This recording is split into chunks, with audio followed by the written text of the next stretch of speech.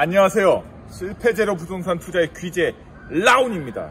여러분들 지금 매일 아침마다 굉장히 쌀쌀한 날씨를 보이고 있습니다. 그래서 아침마다 주터케 입고 나오지 않으면 너무나 춥고 감기에 걸릴 수가 있으니까요.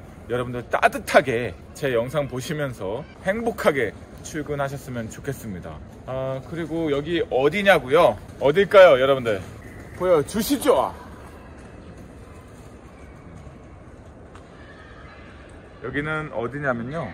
영등포역에서 가장 대장주가 되는 되게 큰 대단지. 2500세대. 와.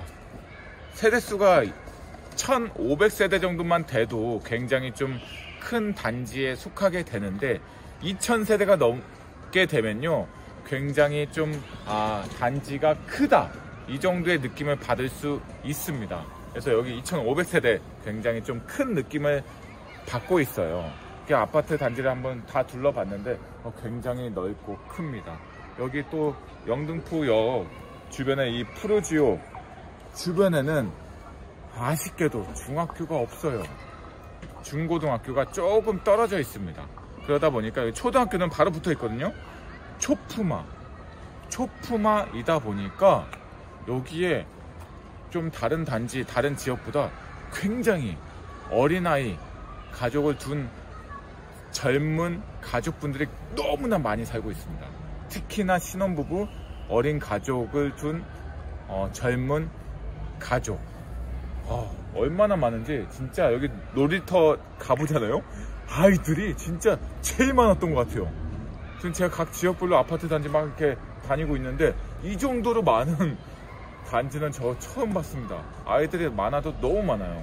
와, 다 잘 돼 있습니다. 내부 단지 자체는요, 정말 깔끔하게 관리가 잘 되고 있습니다.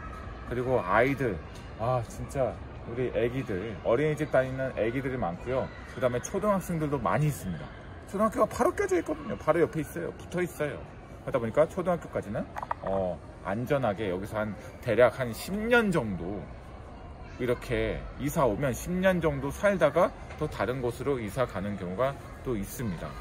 한 10년 정도 살기 정말 괜찮은 것 같아요.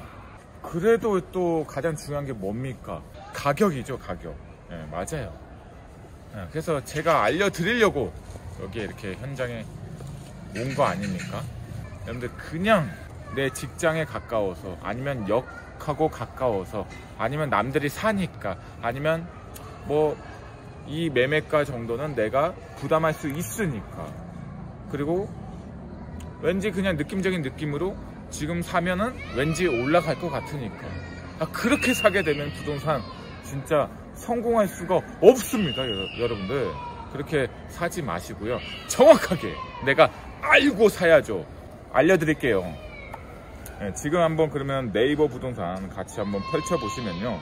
영등포 푸르지오 아파트 지금 25평이요.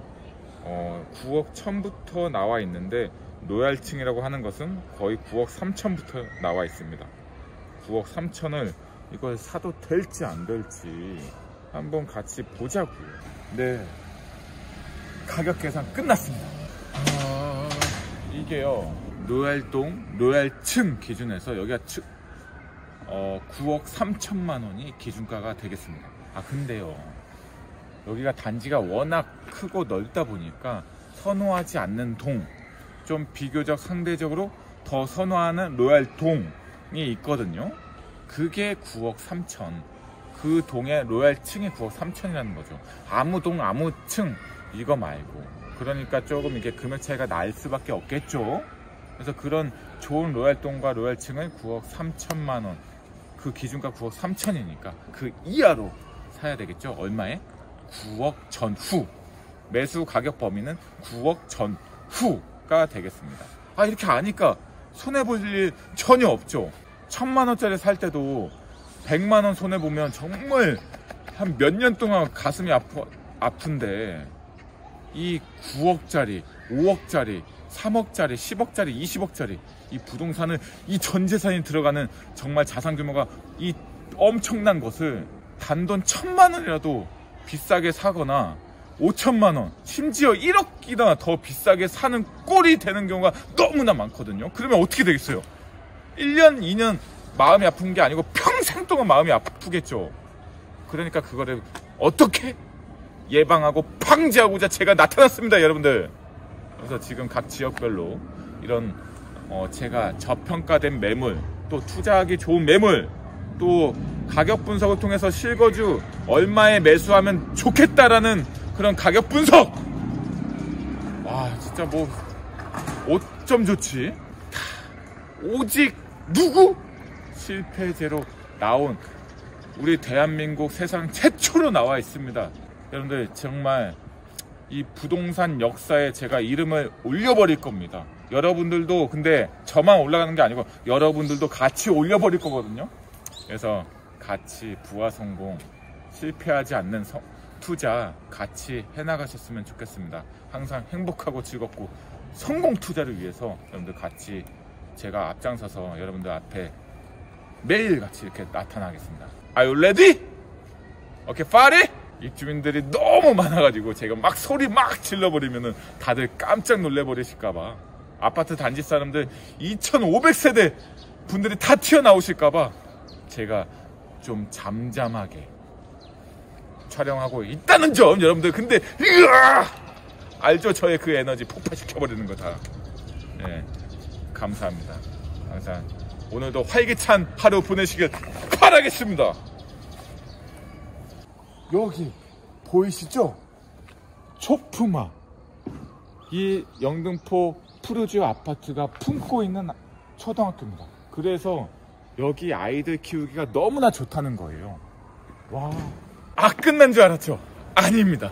여러분들, 영등포역 예전 생각하면 정말 아무것도 별 볼 일 없는 지역이지만 지금은 정말로 많이 탈바꿈되고 입지적인 재평가를 받으면서 계속 이렇게 우상향 향해서 올라가고 있는 지역 중에 한 군데입니다. 여러분들. 그리고 지금까지보다 앞으로 정말 이 영등포역 이 남부 쪽은요 굉장히 또 낙후된 부분이 많은데요. 그게 이제 영, 이 영등포 푸르지오 아파트 대단지를 중심으로 이 우측 이쪽 지역으로 엄청난 대규모 대단지가 여러 개 재개발로 많이 묶여 있습니다.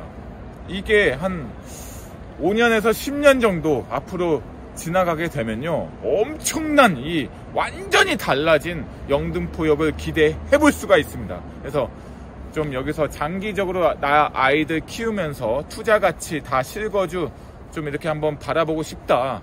이쪽 영등포 푸르지오 괜찮습니다. 입지적인 교통도 핵심 지역 중에 하나고요. 너무나 괜찮으니까 그래서 지금은 약간 좀 낙후된 이미지가 있지만 그거를 극복해서! 날려버릴 수 있는 곳 이곳 주목해 주시기 바라겠습니다. 감사합니다.